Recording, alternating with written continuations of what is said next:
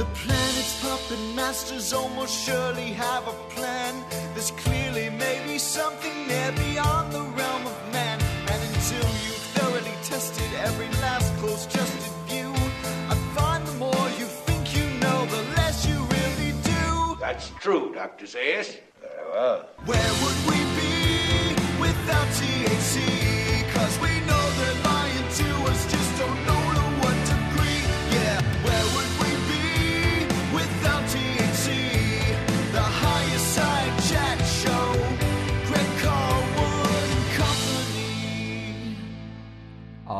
Right, higher side chatters, we know that from the printing press to the film reel, mediums of mass communication have always been weaponized and used as the main vehicles for propaganda and culture creation. And along with the school system dead set on churning out obedient servants to the management class, movies and media act as the pacifiers that make many people just content enough with their life of servitude. Well, today's returning guest, Jay Dyer, has been picking apart the titans of Tinseltown for many years on his website, Jay's Analysis, where he methodically breaks down dozens of films to expose the hidden agendas and symbolism they contain. He also writes extensively on philosophy, geopolitics, history, conspiracy, esoterica, and more. And we got him here hot on the heels of his great new book, Esoteric Hollywood Sex, Cults, and Symbols in Film. It's a real treat to have him here once again. Jay, my man, welcome back to the higher side. Thank you, Greg. Always a pleasure. I'm glad to to be back. We had a really good time last time talking about science fiction and propaganda, and I'm sure this will be equally as exciting. Yeah, man, I really loved that last episode. I think we also focused a lot on Ian Fleming and the Bond films. Mhm. Interstellar was pretty fresh at that time, too. Exactly. And I also really enjoyed this new book of yours, and maybe a good place to start with that is that one of the first sections is called Film as Ritual, which is provocative. But how closely related do you think film and ritual really are? How are they similar?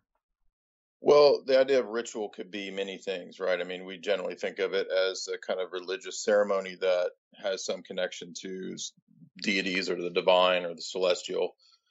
And in modern parlance, I guess we've kind of disconnected the idea of theater and plays and acting from that milieu, but it, that's actually where it comes from. You know, if you go back to ancient Greece, the idea of Sophocles, of Antigone, of the theater was bound up with the idea of the gods and the stories of the gods. And, you know, it's the same with Homer, Odysseus, the Iliad, all of that. And so what I tried to do was kind of go back to that ancient perspective and and get a window into that. And I did a, a, a lecture, I think about a year ago, or maybe two years ago, on Plato's Ion, which is a dialogue that not many people are aware of. ION is the name of the dialogue. And it's a conversation that Socrates has with some poets and musicians. And they're saying, Hey, Socrates, like, you don't know what truth is, man. You think it's all this philosophizing and analytical stuff, and it's inspiration. That's Hmm. the true truth. And Socrates says, No, you guys are actually just kind of Dionysian madmen. he says you're in, he says you're inspired by these spirits and conceivably you know there is evidence to suggest that in ancient Greece they actually were perhaps taking hallucinogens and uh, narcotics and things like this. So it's entirely possible that those in the arts, musicians and so forth, poets were under the influence of drugs and so forth. So Mm-hmm. in that regard, Plato or, and Socrates basically say that it's alternate spirits, alternate gods, alternate other personalities or entities, quote unquote, that are kind of inspiring this performance or this play or, or whatever. Mm-hmm. And when we fast forward to probably the most popular modern school or technique of serious acting that you know most of the A-listers are into, you get to the Stanislavski method, which is the method acting of Konstantin Stanislavski, who's like a Russian dude from about 100 years ago.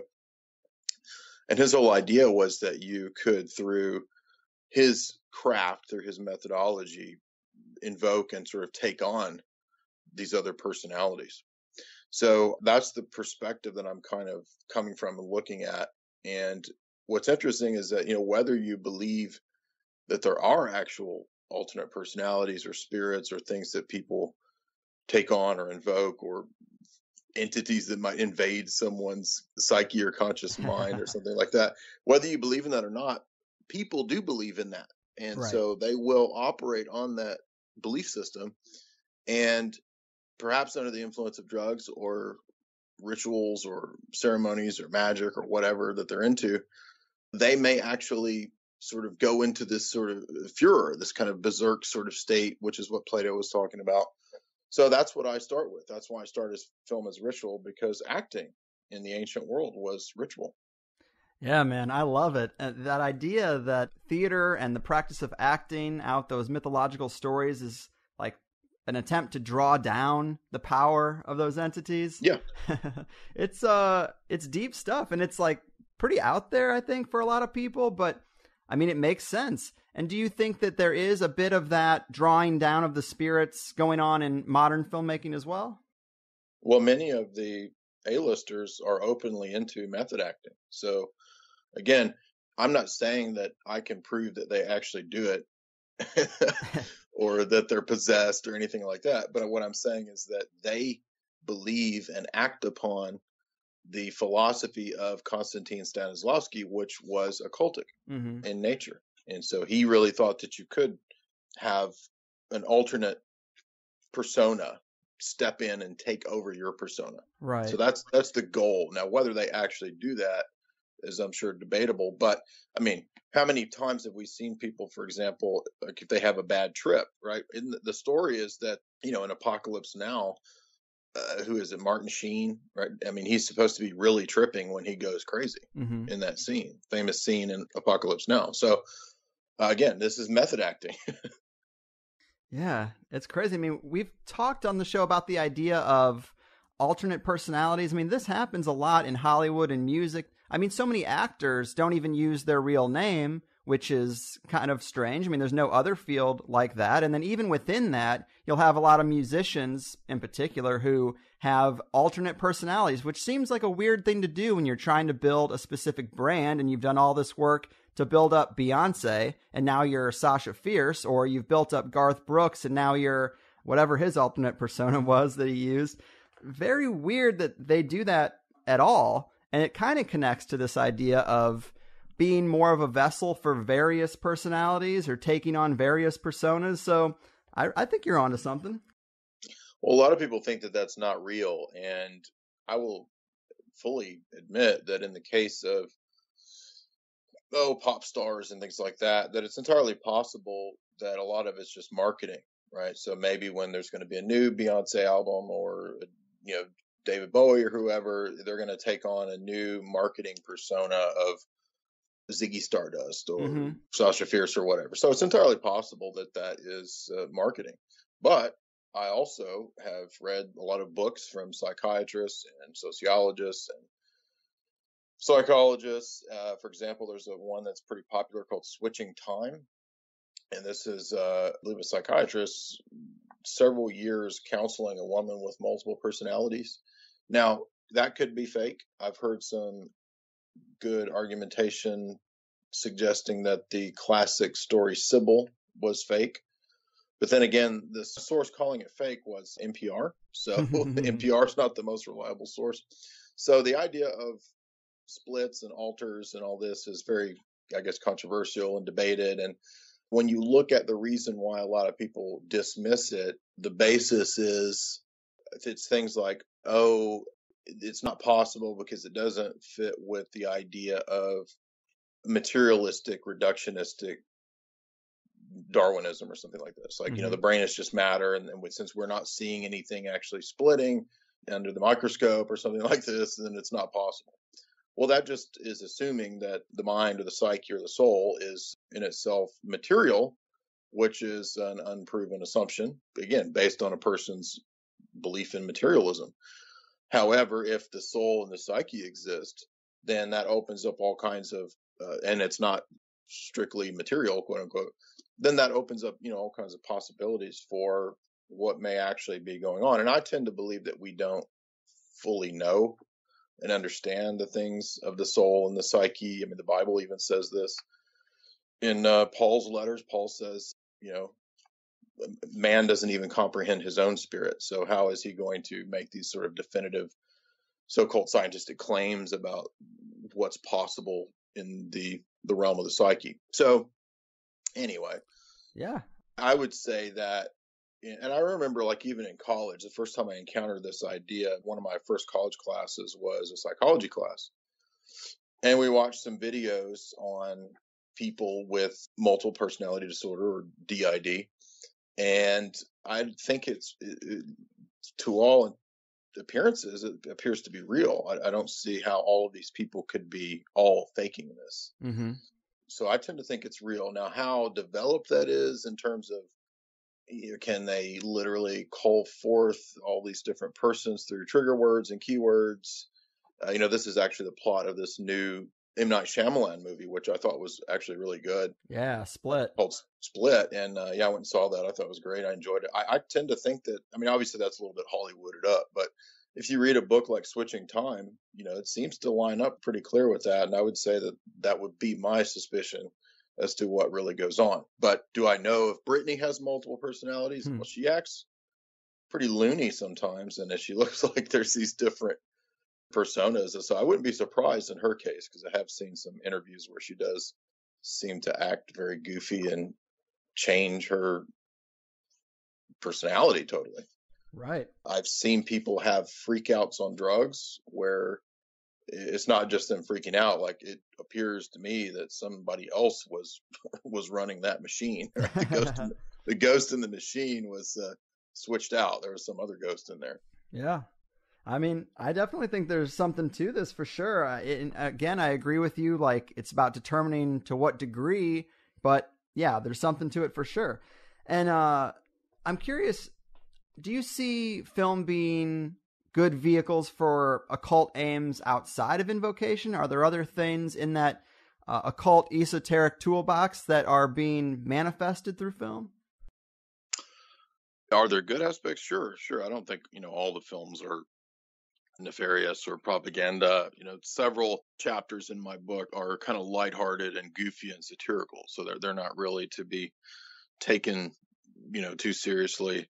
I think the Logan's Run and the Zardoz chapters are pretty. I mean, there's some deep, dark stuff in in those films, but for the most part, they're just kind of fun and satirical sci-fi versions of like Plato's allegory of the cave. And I don't think those are necessarily, you know, nefarious. Fair points. But to clarify, and I did say good vehicles, but I don't mean good in a moral sense, but I'm more curious if you see films acting as useful mechanisms for other occult aims besides the invocation aspect we talked about, other things in the magical toolbox. For example, I sometimes hear people suggest that a major aim of mass media in Hollywood is to replace our imagination or to have us outsource our ability to visualize because they know how important the connection between consciousness and matter is and that we can influence our reality, but not if they bombard us with all this filler from a young age. Huh. So I guess I'm really asking if you see other occult related purposes for the Hollywood machine other than the entity energy drawdown aspect that you had laid out already. Okay, I see what you're saying. I have seen my buddy John brought this to my attention. John Adams over at Hoaxbusters. He said, if you look at the book, I forget the, title of it off the top of my head, but uh, and I did look it up. Uh, Gregory Bateson, who is one of the sort of MK Ultra guys in the background, he wrote a book where he did actually talk about capturing man's imagination, and he saw that the need to control creativity and imagination was very important for social engineering because in, my view this is really the function of disney right it's like Mm-hmm. it is all about quote imagination and w- what they've done with disney is totally weaponize it to capture your children's imagination and really turn it into a lot of dark social engineering things like you know they, they want to take your kid and take her from being hannah montana and turn her into gender fluid disgusting slutty miley cyrus so that's that's the real goal of capturing the imagination mm-hmm. Yeah, man, Disney is quite a force, and I really do enjoy when people break down Disney films. Sometimes it goes too far, I will admit. And I actually checked out some of the songs on YouTube from that new one, Moana, and I guess The Rock plays a demigod character, I assume from Hawaiian mythology. I think that's what it's all about. And there is a line in one of his songs where he describes making the world, and at one point he says, I killed an eel, buried its guts, sprouted a tree, now you have coconuts. And I just thought, huh, that's a fairly detailed ritual description right there. Bit of an evolution from when you wish upon a pentagram. And I am being facetious, but I've heard some researchers make a really compelling case that, however small, there is a very purposeful occult thread through a lot of those films.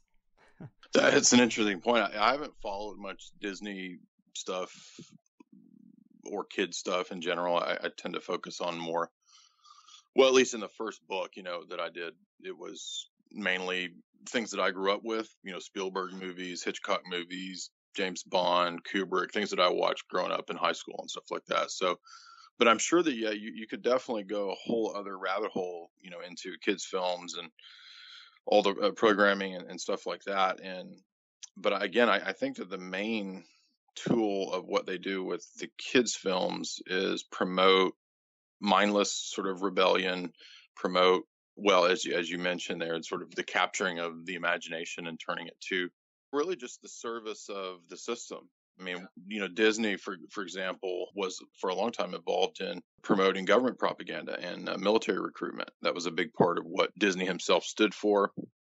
He had access to and worked at the Laurel Canyon Studios you know, where they did all these secret Air Force films and so forth that I discuss in the book that comes from Dave McGowan's work. Yeah. So, yeah, that, that is a good question. I, I mean, definitely the kids aspect is something that could be explored more. But I mean, I've seen all kinds of dastardly stuff from Nickelodeon and MTV and you know that I think is genuinely intended to have negative effects on your children. I mean the whole goal of all of it is uh, depopulation. Yeah. I mean, it could be a stretch, but I've even heard people talking about the sliming of kids on Nickelodeon being, uh, you know, symbolic of semen. I mean, that might be a stretch, but I'm like, ah, that is kind of kind of creepy too when you think about it in that context. But let's get into Spielberg a little bit. You write about him a decent amount in Esoteric Hollywood, mm-hmm. breaking down several of his movies. And if there were a larger, semi-organized machine behind Hollywood, Spielberg would have to be involved. So, when you look at the totality of his films, do you see an overarching aim or agenda that becomes more clear? Yeah, I think you could boil down like probably three major themes that Spielberg deals with. He deals with Holocaust, he deals with familial relations, and he deals with aliens. that's like that's the three things that he he's focused on. So what I focus well, alien slash transhumanism and so forth. So what I focused on in my book was the alien and transhuman myths and stories that, that he's focused on. And so he interestingly does have a penchant for Philip K. Dick, who I think is very fascinating as a writer and a character. Mm-hmm. Because, you know, Spielberg did Minority Report. So there's a chapter on Minority Report that I do that focuses on dystopia and, and how tech can lead to dystopia. So not everything in Spielberg is bad. I don't think he's totally nefarious or anything like that. And I don't I don't actually go after anybody personally or any of the directors. I just kind of try to decode the films and see what patterns and meanings I can find in the symbolism. So what is Spielberg all about? Well, as I said, aliens and transhumanism. And I think those two things are linked. For one, because I personally am not convinced that there's like extra biological entities. But I think that if you watch movies like E.T. and then you watch something like his version of War of the Worlds, the cold, calculated, scientific approach that the so called aliens have sure does seem to match up to the cold, calculated, scientific approach of the deep state and the military industrial complex and the international corporations. yeah. They have that because like so at the end of close encounters what's it all about? Well, they're they're stealing abducting kids and family members and you get the impression at the very very end that they're doing some kind of genetic modification on these people and then they're like giving them back to you like 20 years later or something, and they haven't aged. So the idea is, uh, oh, the quote alien, no overlords are working on genetic modification, hybridization, GMOs, halting the aging process, you know, all these kinds of things that we in the conspiracy world really believe the oligarchs are working on and are into. Mm-hmm. So I think that's the real meaning of something like Close Encounters, which actually kicked off the modern alien Hollywood blockbuster phenomena. I can't really think. I mean, there was there probably were alien movies, no no doubt, many of them prior to Close Encounters, but making aliens into a giant blockbusters you know it begins i would say with if you don't count 2001 which i tend to believe 2001's about ai not so-called aliens but extraterrestrial beings you get you know you get close encounters which is based on j. Allen hynek and jacques vallée right? This is both of their works were kind of the basis for what was going on in close encounters and actually i believe hynek I found sources saying that J. Allen Hynek was actually consulting Spielberg on the set. Hmm. So, yeah, so I think that you're talking about people from the deep state who know about what the UFO phenomenon really is, sort of consulting with Spielberg. Spielberg's putting out his version of it. And, you know, then when you look at ET, I think ET is actually about this idea of ET's more like a familiar spirit than he is like an alien. That's Yeah. why he has this very strange bonded connection with Elliot. And, you know, when E.T. gets drunk and burps, Elliot's drunk and belching, right? Yeah. This is So very- uh, very weird stuff going on there. But Yeah, man, and this is exactly uh, what I wanted to get into because I I love that ET analysis, and it's it's just so interesting. You talk about in the film ET, you mentioned the shadow government researcher in the movie is named Keys, and that it's a reference to the Key of Solomon. And let's get into this a bit. What is the significance there? Is that message part of the uh, subtly saying that ET is a familiar spirit or a demon rather than a space alien? I would say so because you look at what his so-called powers are, and they again they match up much closer to something like a familiar spirit supposedly than it does any sort of quote alien.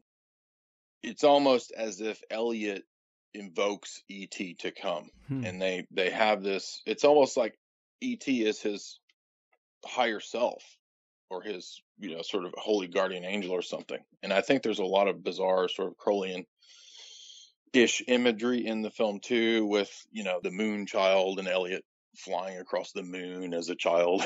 this Yeah. stuff. I think that's suggestive. It's not definitive, but it's suggestive. And so the Peter Coyote character, that's the guy who's playing keys. He shows up at the beginning and then he pops up later at the end. And, and he's actually this sort of mysterious, almost angelic government figure who's turns out to be a good guy because he's opening up all of these scenarios.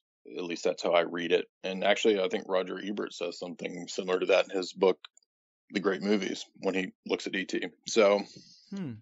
Anyway, uh, it's a it's a different take on ET, definitely uh, that I have. But the actual guy, Peter Coyote, interestingly, was a hardcore Marxist, and he was a big time sort of activist, quote unquote, in in terms of Marxism and cultural revolution. So, you know, I think that's potentially suggest. I'm not saying he is an occultist or anything like that for sure, but it's just interesting that you know you don't see this guy in a lot of movies, and then he's you know Spielberg chooses him for this role.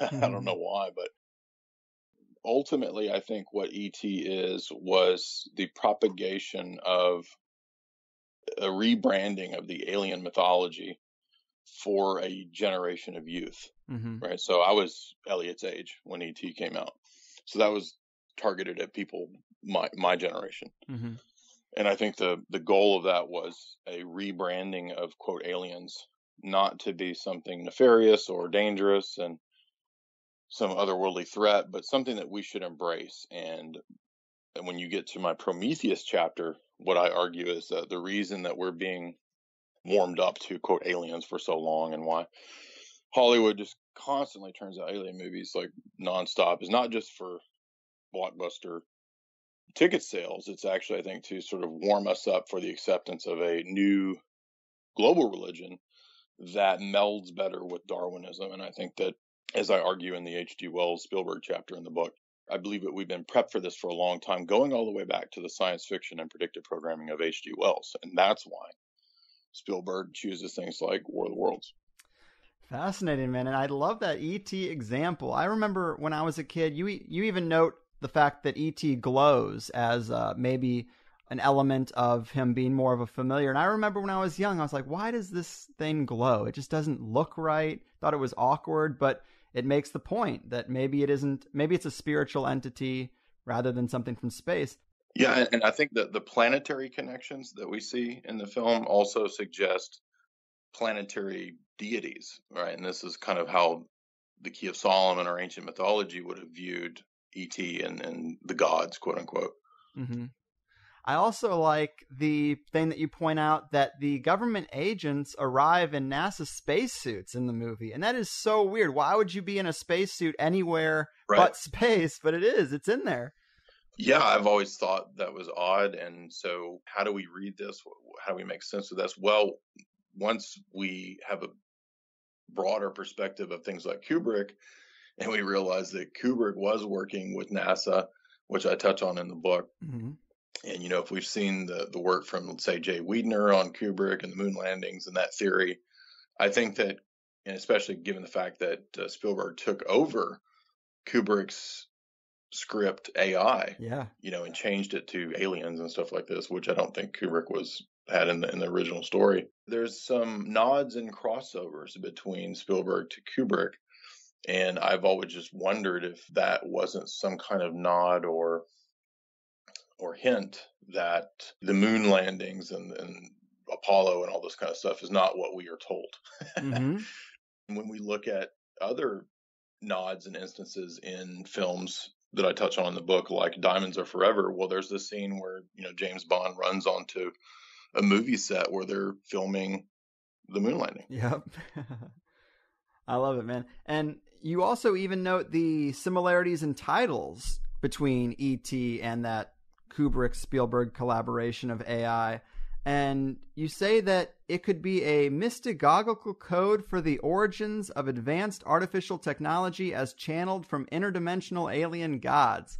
Great sentence. And I love that idea. I've been hearing it more and more that technology comes from connections to entities like Prometheus bringing us fire. Mm-hmm. Is that your impression of where a lot of technology comes from? Some type of occult workings? I do think that that's possible. And that's I, I believe that not just because of you know some kind of weird thesis or something I dreamed up, but actually when you go into the history of, of philosophers or sort of the pioneers of modern technology, you can look at characters like Descartes.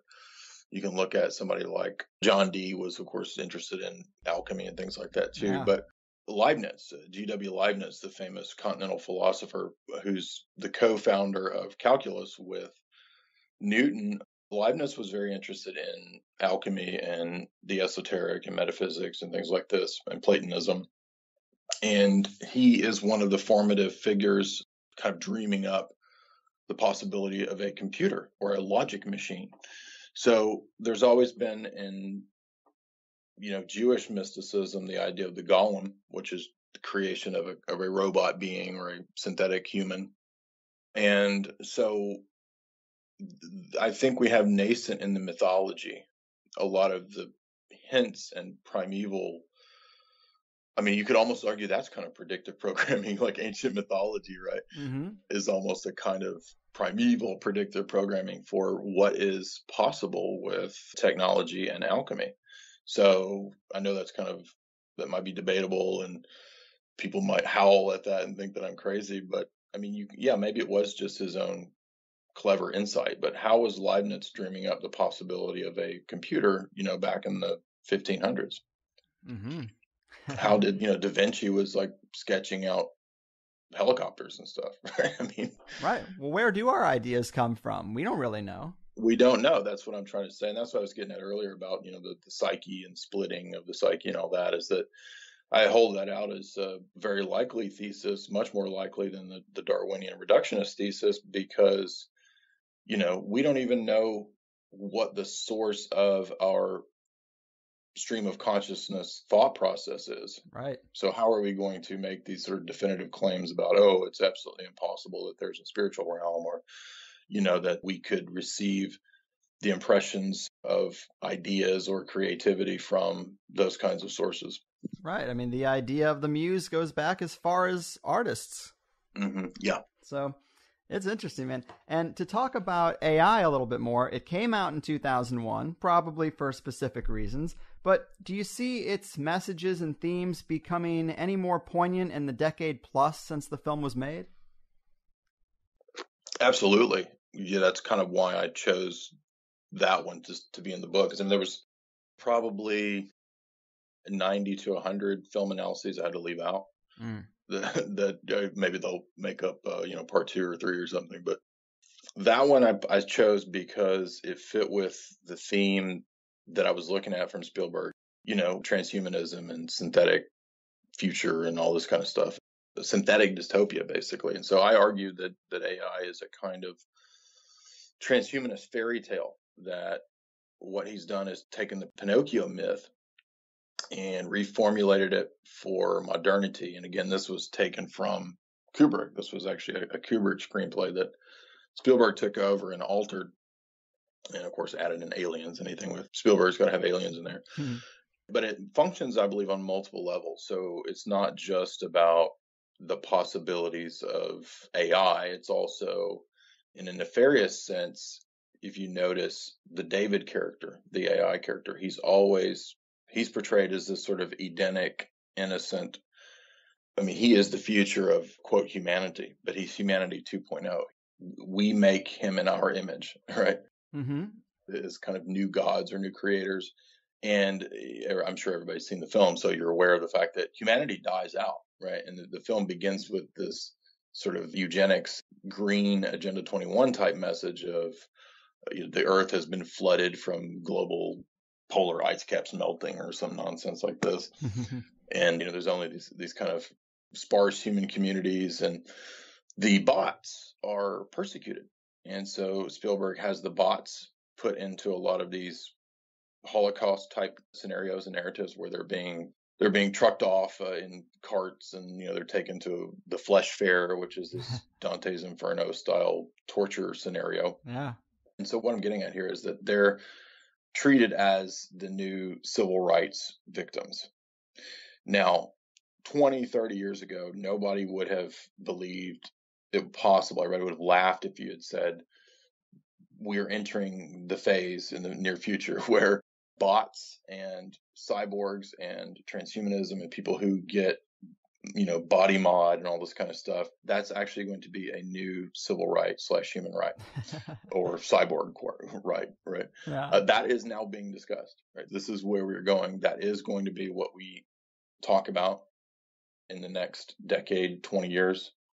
There will be i'm not joking. This is the so we went from racial civil rights to gay rights and then the next quote civil right is going to be related to transhumanism and maybe i'm forgetting uh, like bestiality or something like that's going to be that bestiality and pedophilia that will be uh, discussed as a quote right and make no mistake about it you heard it here on higher side chats transhumanism and cyborg modification will be the next right Boom. and and all of that i think is being predicted and projected and displayed in AI and also in you know Ridley Scott's Blade Runner, which is another chapter in the book. Mm.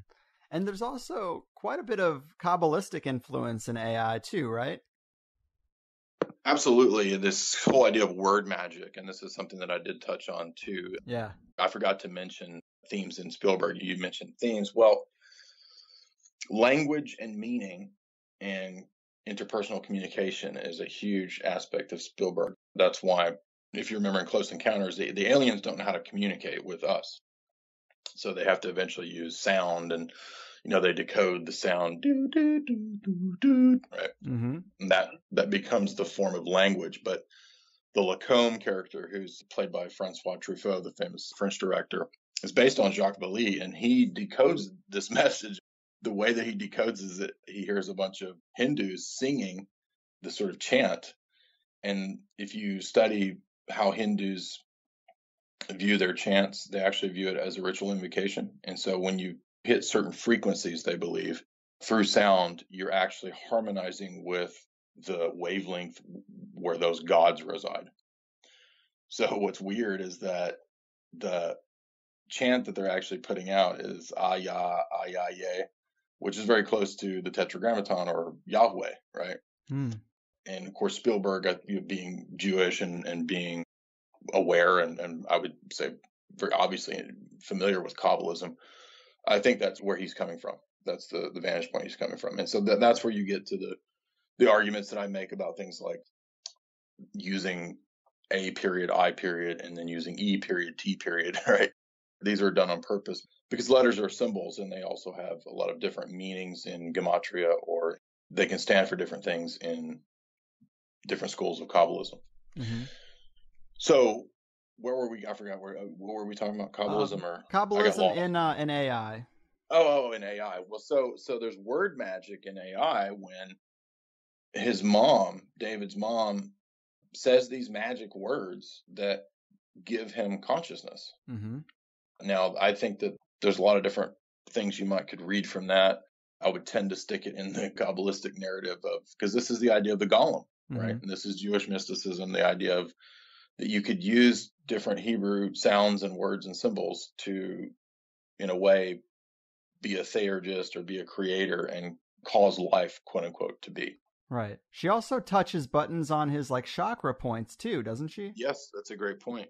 She touches the back of his neck, I think, if I recall, Mm-hmm. and then says the magic words, and he supposedly is quote conscious. So now I don't believe that that actually we will ever create a conscious being like that. I think that it will always be synthetic. It will always be in some way a kind of program. And any anything that you program is only going to do what it's programmed to do, in my view.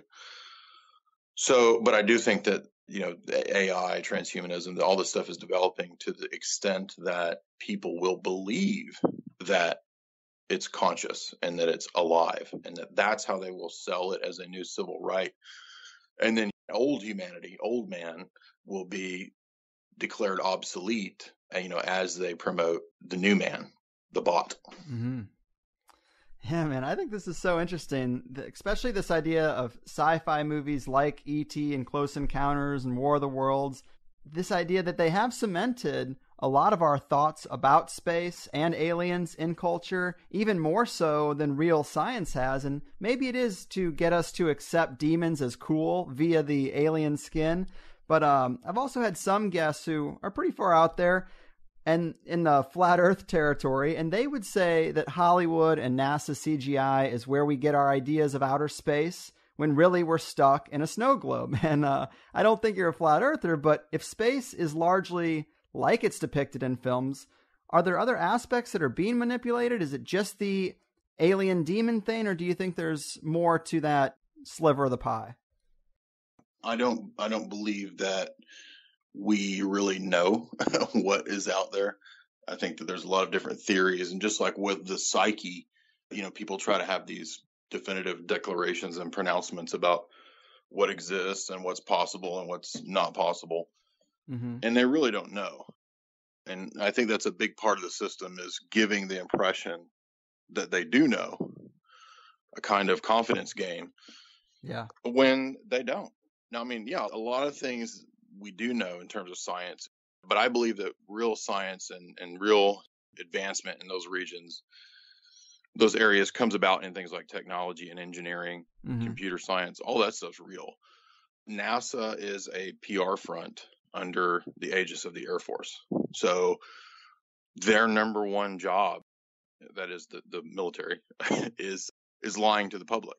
That's what psyops is. yeah So you can't believe any of these declarations from NASA and just look at the fact that NASA, on the one hand, promotes aliens and then turns around and tries to present itself as this totally scientific organization. But it's not. It's, it's a PR front.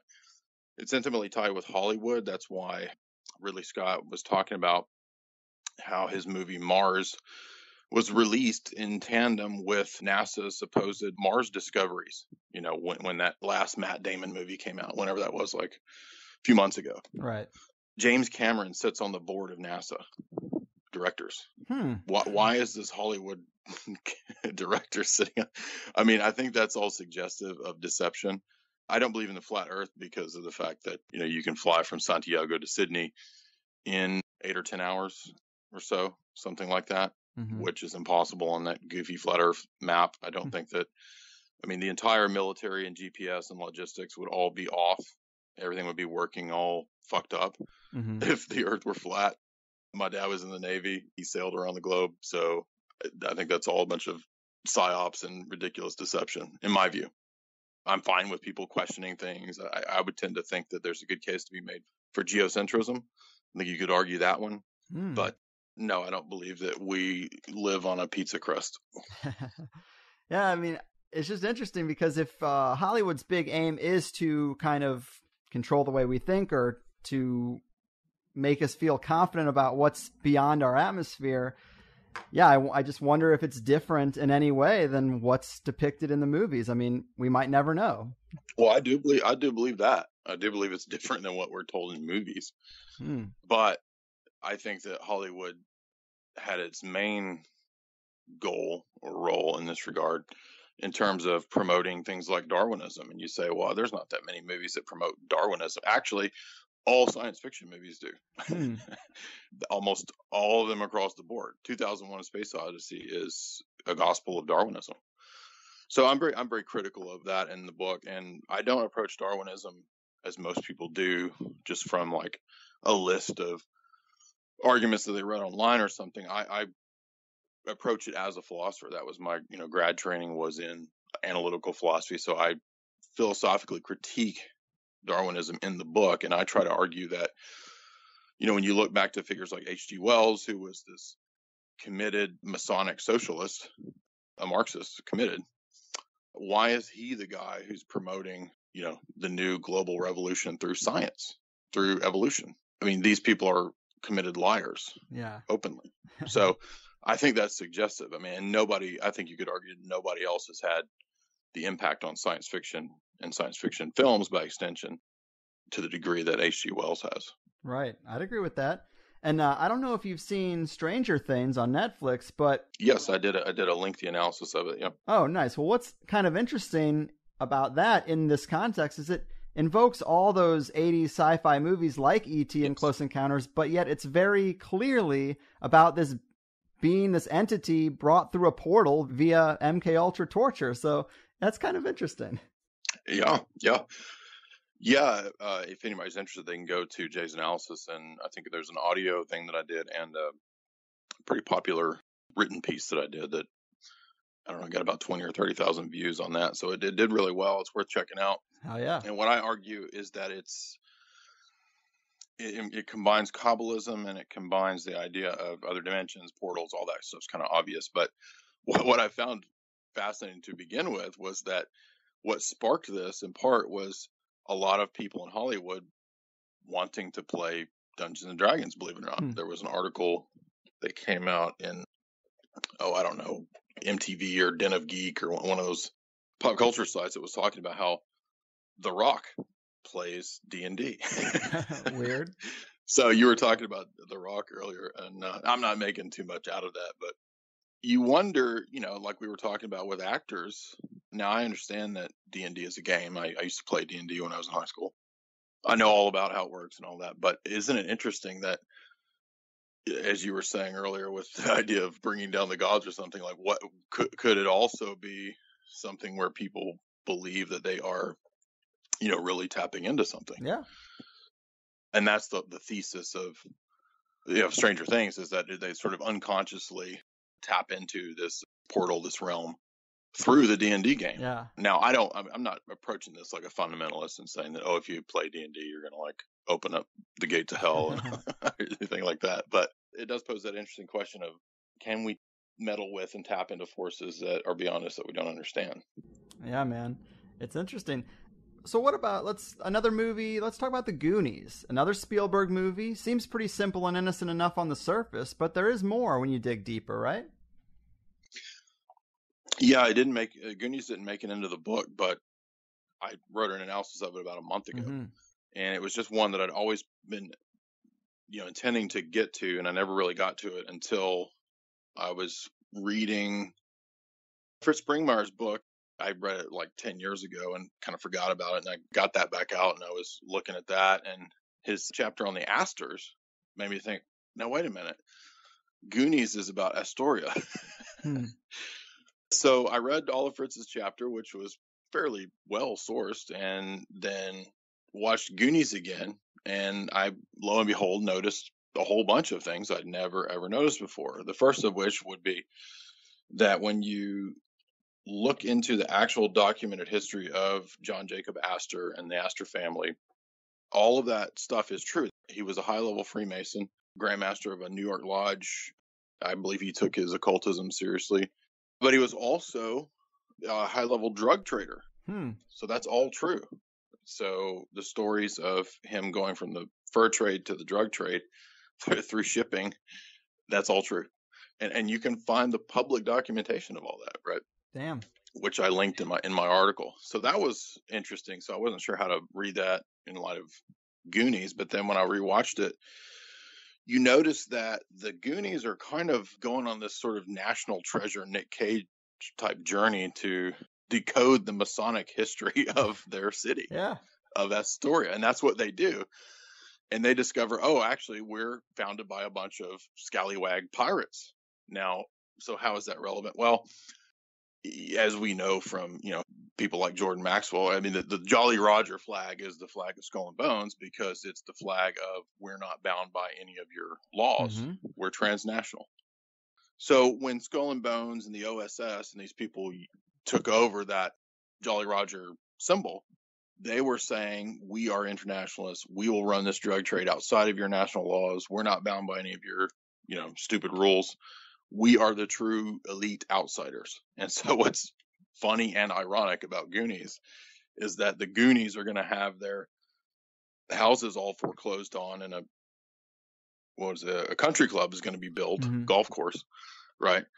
And so they're the outsiders who actually discover the jewels and then you know they're able to save the family and all that kind of stuff. So the ir- it's just ironic that they are the alienated outsider youth that identify with the pirates when they decode the big uh, Masonic myth of Astoria, they find the treasure and they're able to, you know, well, pre- presumably they're wealthy, I guess, because they, you know, he he still ends up with jewels, like a bag of them, if you remember at the end. So anyway, I, I just I saw all that weirdness going on. that's that's how I read it. And there's also some weird kind of phallic references in Goonies, which I'm not sure what to make of, but Yikes. you know, yeah, when we think about that in light of what Corey Feldman said, you know, I don't know. Absolutely.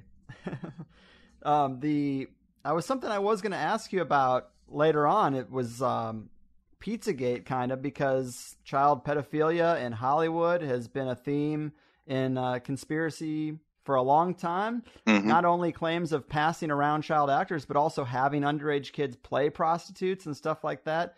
Yeah. Uh, the political and Hollywood elite are very interrelated. I'm curious, what are your thoughts on uh, the Pizzagate scandal or Hollywood's role in the abuse of children? Uh, yeah, I think I did three or four audios on Pizzagate. So if anybody wants like a fuller breakdown, they can check those out. But Sure. but yeah, I mean, I think that it was pretty clear that there was some kind of black market operation going on that dealt with perhaps at least gay prostitutes or something like that. I mean, that's very popular in the DC scene, and that would also you know be connected to things like cocaine and drug use and all that, and code words and all that. So I I, know that I, I know all the arguments and everything about you know what all the code words mean and all this kind of stuff, but I don't know if there's definitive proof and you know that could have been intentional. They could have put something out that wasn't definitively proven. But Right. what you can prove is you know laura silsby did get in trouble for going to haiti and trying to bring a bunch of kids out of haiti. You can prove that and yeah. you can prove that she was connected to the clinton foundation. You can show that john podesta made a lot of weird statements and you know what does it mean when they're talking about a hot tub and uh, yeah Pizza and a hot tub. yeah. so it's hard to say exactly what definitively what it is, and Right. you know, was that a plan to psyop the alternative media? I, I don't know, but ultimately, we don't need quote Pizzagate to know that this kind of stuff is true because there's like a dozen other cases of the exact same thing. right. Right. So, Yeah. so I'm not saying by admitting that I don't know exactly what the situation in Pizzagate is that that's not true. I'm just saying that I wouldn't be surprised because there's so many other cases. We've got Savile, you've got the Dutroux affair in Belgium, you've got Franklin cover up, Craig Spence, you know, Johnny Gosch, the White House. you know, there's like, and there's a whole slew of other books that you could find about this kind of stuff. The pedophilia in the Catholic Church, William Kennedy's book, Lucifer's Lodge, uh, Malachi Martin's books have talked about it. I mean, there's just book after book after book that have already dealt with this matter. Right. And I, I agree with you that you don't need Pizzagate. It's just kind of one example of uh, of a theme that seems to be there for sure. Mhm. And a lot of times you can get a better beat on things by looking at the aftermath. And it wasn't really until that Yeah. shooter went into Comet Pizza where I was like, oh, okay. So you put out a lot of smoke that's unprovable. You then Right. put do a false flag where a guy goes in with a gun, and then you say, okay, we got to crack down on these alternative news sites because conspiracy is dangerous now. It's not just goofy and wrong, it's actually dangerous to even discuss stuff that doesn't come from CNN, MSNBC. So I totally see that being a possibility for the agenda there. Yeah, and I'm not. I'm just, and I totally agree. Like as a thesis, hmm you know what I mean. Like I could see that thesis. I could also see the thesis that this was a real operation going on. You know, with all the worst stuff imaginable.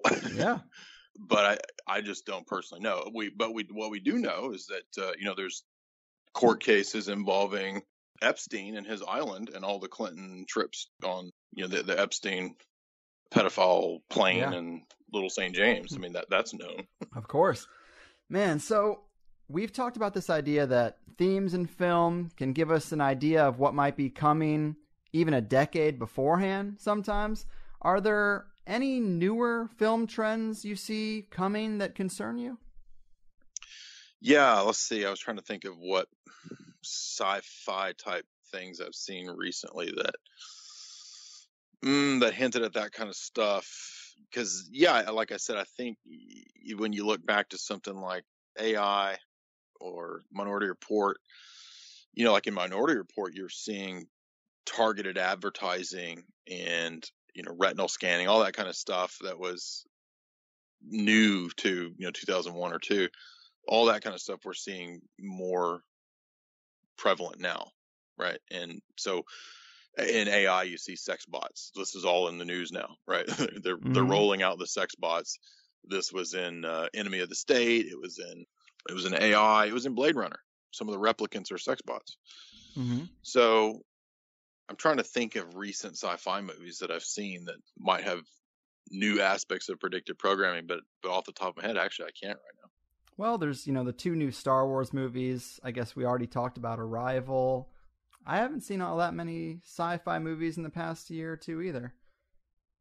Yeah, and I I think, as I said, like Arrival and Star Trek, and I mean these kind of just have the the more globalist minded propaganda of you know anyone that's opposing. The, and I, if you can, we mentioned Rand Corporation earlier. Rand Corporation had a direct connection to Star Trek. They were into some of the Rand Corporation people were involved in brainstorming ideas and based on stuff that was in Star Trek. You can find Hmm. you can find papers on that at the Rand Corporation, so I'm not making that up. And what's the whole idea of of Star Trek is what well, we've got to have a federation that can rule all of these unruly, you know, independent existing people groups. All right. I Mhm. mean, that's just globalism 101. And, and Gene Roddenberry would actually talk about that openly. He would say, you know, I'm all for global government. We got to have a new world order. This is the only way to do things. And, you know, the, the way we do this is to get rid of all these people thinking that there's uh, a God and that they have their own traditions. And that's all just got to be wiped away. And we'll have, uh, you know, the holodeck. well, there you go. So holodeck and VR, that's what's coming. yeah. Uh, in ter- I was trying to think of other movies. I saw um, X Men Apocalypse. I thought that was pretty interesting, just because the Apocalypse character talks about being something ancient. Like there's a character who asks, "Who are you?" and he's like, "Elohim, Ra, I've been called many names over many lifetimes. I am born of death. I was there to spark and fan the flame of man's awakening, to spin the wheel of civilization. And when the forest would grow rank and needed clearing for new growth, I was there to set it ablaze. And uh, I think that's a pretty awesome dialogue, but uh, it's also pretty interesting. Yeah, actually, yeah, I'm glad you mentioned that because I have written on Avengers and the Marvel stuff, and X Men is on my list to get to actually. But if you go and read my my takes on Captain America and Avengers and all that, I think there's three or four articles I've done on those. It would be kind of the same themes because you got like if you saw X Men First Class, that was crazy because they're like working with the CIA. They are a CIA project, which is which is just mind blowing. So all that's revealed, and I do think there's truth to this. You know, the whole super soldier idea, and I have Chris Knowles' book. It's pretty good. So I, I'm glad you referenced him, but I just haven't seen Apocalypse yet. But I I didn't know what to. I was lost actually in the last X Men, the one before that, that where they went back to back in time and Yeah. like JFK era, and I'm like, what what is going on here? They're interacting with Nixon and JFK and alternate timelines, and it, it just kind of lost me in the the confusion, and I didn't think it was that great. But but there is you're absolutely right to point out X Men and Marvel and all that because they're just rife with everything. I mean, Mhm. all I can say is just check out my analyses on those movies at Jay's Analysis. Yeah. And there were a lot of bombs when it comes to uh, sci-fi in the last year. There was the remake of, or I mean, the sequel of Independence Day. There was that movie that I thought looked interesting, Gods of Egypt, that was apparently terrible. Yeah. So the only one I've heard that was good that I haven't seen is the Fifth Wave. I've heard that has some pretty interesting stuff in it because the first four waves are like first they create, you know, if there's an alien invasion Mhm. and there's five waves of it, the first wave is create darkness, then widespread destruction, Mm. then infection, then invasion, and then the fifth wave is actually once the planet is in its weakened state, then you swoop in and just take it. Interesting. Yeah, actually, I did see that movie advertised, but I didn't actually watch it. And the reason for that is that what I'm having to do right now is prep for the TV show that Jay Weidner and I are going to do. And we're working on the first season. And it's going to be 13 or 14 episodes of first Ridley Scott, then David Lynch movies, then Spielberg, then Kubrick, then The Matrix, then The X Files, Christopher Nolan movies, James Cameron, Roland Polanski, Bond, Twin Peaks, True Detective, Godfather, Da Vinci Code. And then we're going to do an episode called Gnostic Cinema, which is Snowpiercer, Westworld, and Dark City. So what I'm having to do right now is, and this I just got this information a couple days ago, so I don't even have the time really to like watch the the fun movies I'd want to. I have to sit and like rewatch all of these over and over and kind of plot out what we want to do with each one of these episodes and where we want to take it. So so that's what I've been Hmm. working on and our show will be I think in running in April on Gaia TV. Very cool. That's exciting. Well, right on, man. It's always great to talk to you. Uh, I enjoyed it last time. This has been a blast too. I like a guy who knows his shit, and you are one of those guys. Thanks, Greg. You got it. And before we close the books, let the good people know where they can further scratch the J Dyer itch if they do want some more. Yeah, you can go to jaysanalysis.com, no apostrophe. And I think I have, there's over a thousand posts there. I've got over six or 700 articles I've written, 120 or 30 movie reviews. And you can find all that information there. I also do a podcast for the last year that's gotten pretty, pretty good traction now. You can find all the free hours. And then if you want to hear the full lectures, talks, interviews, I also do lectures on things like Tragedy and Hope or Plato's Republic. Uh, you can subscribe to Jay's Analysis for four ninety five a month or sixty dollars a year. And if you want the book Esoteric Hollywood: Sex, Cults, and Symbols in Film, you can. There's a PayPal button there, and uh, I do outside the U.S. and inside the U.S. and they are all signed copies. So I've got uh, 25 star ratings on uh, Amazon so far. The book's only been out a month, and it hit number one in Amazon's film and Hollywood category. So Boom.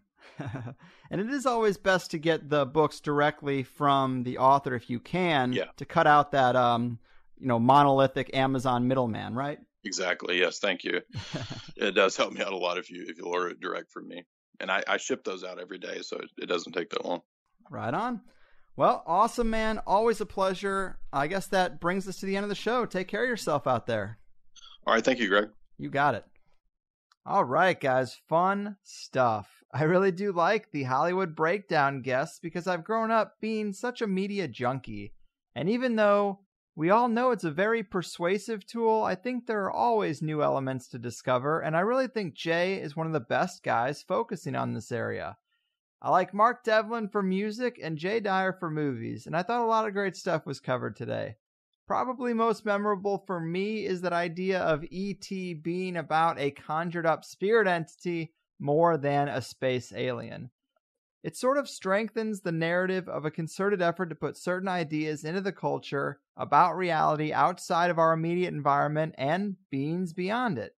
An effort to depict magic, ritual, and entities and paint it with the brush of science, space, and aliens. It's a curious case to make because you have to ask the why. Why would this be an agenda in Hollywood with cooperation from NASA and military intelligence?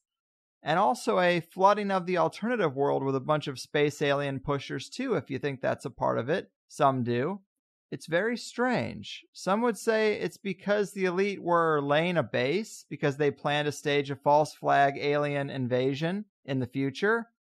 First, you fight nations like the two world wars, then you fight ideas like terrorism, and then you fight a completely fabricated enemy that you completely control with 100% autonomy. Maybe. People do say that, but I always found it to be a bit far fetched. Now, if you're a flat earther, you already know why the directors are doing this. Obviously, they're crafting the space concept for the collective consciousness, projecting the futile possibility that we can actually rise beyond the dome that encapsulates this island Earth. A full spectrum deception of the highest order, the lie of lies. Maybe. I'm also not a flat earth guy, but I will meet you in the middle and say that I love the prison planet concept about as much as the hollow earth, and you could fit this stuff in that box. Or it might be as simple as trying to expose the masses to occult entities and esoteric rituals and their Kabbalistic belief system on the DL, to Trojan horse the masses into the occult. Could be, but the lens of space and aliens does seem suspiciously significant, doesn't it? Maybe we'll never know exactly what motivates that machine, but I think it's pretty clear that those top directors, Spielberg, Kubrick, Cameron, they serve an important function. I can't claim to know what it is fully, and even James seems pretty flexible as to the whys, which is great because it's very arrogant to think we'll ever get it 100%. All we really can do is hold up different pieces, look them over, and see which ones fit better than others, which perspectives and threads weave a tighter tapestry to get us closer to the truth. But we're born into a completely different world, shaped by think tanks, wealthy industrialists, and international banking oligarchs who all have an interesting preoccupation with some occult belief system. Right? Right. Well, fucking A. Jay Dyer, if you like the stuff we talked about in the first hour in the Plus show, we got into stuff like predictive programming in the Trump presidency, specifically in Back to the Future and Gremlins 2. And, you know, I was unaware that Jay had decided to throw his hat in Trump's ring, and I really don't care or judge him for it. It's just that everyone is so polarized now, listener wise, that a lot of people are like keeping score with the guests, trying to make sure that their team is equally represented. Don't be like that. Some people are scoring me way to the right, and that is not fair because they're given right wing points for the Pizzagate shows. And that is an elite issue, not a right versus left one. I will not accept those points. And it's going to come up. It's coming up everywhere you look. But I'm spending less time on political topics and more on just the fringe, where we belong. But really, you shouldn't care about either political side, or at least you should be able to separate and appreciate a person's expertise and just sort of recognize their worldview, the lenses they look through. I mean, consider that in what they say. and then just see what you can pull out and apply to your own paradigm. It's not really about every little thing or writing someone off completely because they see one of about an infinite number of issues differently than you do, or they take religion more seriously than you do. You know how I am on religion, and I still have guests that hold it dear. If I think there's something I can appreciate about their work otherwise.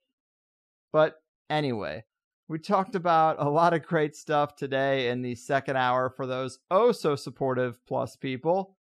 G.I. Joe being a conspiratorial smorgasbord, touching on almost all the major themes we hear about in the alternative realm. Military recruitment films where you might least expect them. Dr. Strangelove as an allusion to the Rand Corporation. Esoteric Hollywood film shot on location at Rothschild Mansions also, why the Tavistock Institute would be studying Hitchcock films, the role of 70s and 80s dystopia films like Labyrinth and The Dark Crystal, the films of David Lynch, Jay's thoughts on more recent films like Split and Arrival. And as icing on this crazy cake, we talked about Chuck Palahniuk's work. I never know how to pronounce his name, I just take a shot.